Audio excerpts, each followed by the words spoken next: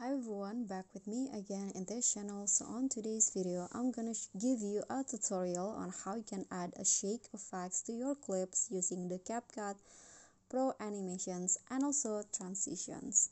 So first, you need to prepare your clips and then click on the transition box. And now click on the camera tab and then select the shake to option. So this one adjust it only for 0.3 seconds and click on a check icon. And now click on the next clip and go to animation combo and now find the popping candy options.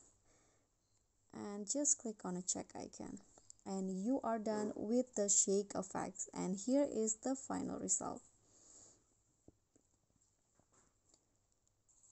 Okay guys so that's all for me. Thank you guys so much for watching. Don't forget to like comment subscribe and also click on the thanks below. Bye